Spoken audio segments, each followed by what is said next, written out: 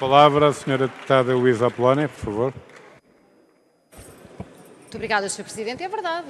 Foi um prejuízo, um desinvestimento enorme ao longo de décadas e décadas. Mas é verdade também que nesta legislatura os concursos abriram tarde e o Sr. Primeiro-Ministro sabe que entre as saídas de trabalhadores da EMF e entradas, número, os números que referiram que o Sr. Primeiro-Ministro referiu corresponde a uma uh, determinada quantia que não garante a capacidade de manutenção do material necessário desta empresa. O Sr. Primeiro-Ministro sabe disso, o próprio Sr. Ministro das Infraestruturas já o admitiu. A pergunta que se coloca é porquê é que não contratam mais trabalhadores? O que é que vos impede?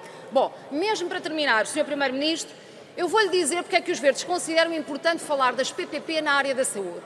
Importa falar das PPP na área da saúde porque o Serviço Nacional de Saúde deve servir para os utentes e não para os interesses dos privados. É para isso que ele serve. E por isso é que temos necessariamente que falar das PPP.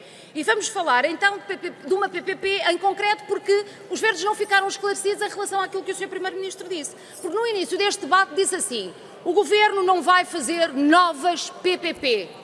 Claríssimo como água. Só que relativamente ao Hospital de Vila Franca de Xira, Portanto, não vai renovar o contrato, isso também está claro, porque faz uma avaliação negativa, também está claro, só que não está claro é o que é que se vai seguir. Vai ou não passar para a esfera pública? Ou afinal o Governo vai mesmo fazer uma nova PPP prejudicando os utentes e o país? Muito obrigada, Sr. Presidente. Muito obrigado, Sra. Deputada. Para responder, tem a palavra o Sr. Primeiro-Ministro.